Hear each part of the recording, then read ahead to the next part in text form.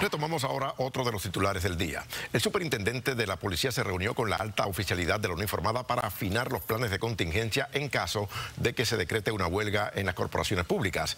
Pero como nos dice Daisy Sánchez, el superintendente podía convocar a los líderes sindicales a una reunión esta misma semana. La invitación esta tarde a Fortaleza no disipó la posibilidad de una huelga en las corporaciones que protestan en contra de la ley de sustentabilidad fiscal para la cual ya se prepara la uniformada policía estamos preparándonos este, para todo y día a día pues vamos a afinar nuestros planes de trabajo. Se trata de la reunión ordinaria de los coroneles y el superintendente, pero el tema de la seguridad fue parte de la agenda para establecer el plan de contingencia de la uniformada en caso que se decrete un paro. El jefe de la policía dijo que habría cambios en los horarios en los lugares donde fuera necesario se van a suspender vacaciones, se va a comenzar a llamar el personal. No, mira, este, eso lo vamos a ir este, analizando día a día, pero de, darse un paro grande, este, pues obviamente la, la primera opción que vamos a hacer es que vamos a subir los turnos a 12 horas adelantó que estaría reuniéndose con los sindicatos para evitar que se repitan los incidentes del viernes frente al Capitolio. ¿Ha solicitado alguna reunión con los sindicatos que estarían en huelga? Eso es así, correcto, de anunciarse este, un paro. Este, ya eh, nuestros coroneles le impartimos instrucciones que vamos a hacer unas reuniones con los líderes, especialmente con los comités de seguridad, para que todo el mundo eh, discuta sus puntos y si van a hacer las marchas, pues que la hagan de acuerdo a la ley.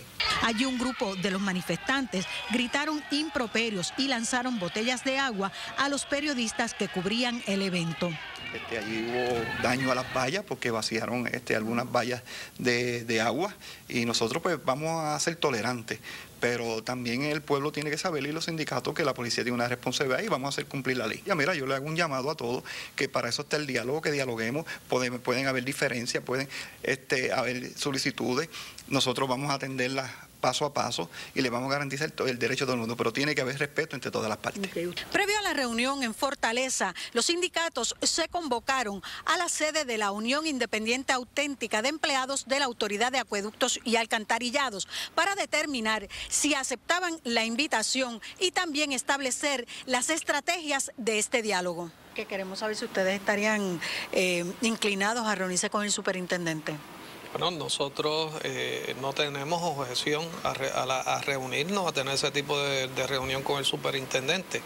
Eh, como hemos dicho, este, si finalmente se llega al paro general, eh, aquí no va a haber eh, o intencionalmente de parte nuestra ninguna situación que pueda afectar a nuestro pueblo. En cuanto a los ataques a la prensa, el portavoz de la UTIER dijo que es el propio gobierno y los comentaristas en los medios de comunicación quienes promueven el descontento y la violencia de los trabajadores. En San Juan, Daisy Sánchez, Las Noticias Univisión.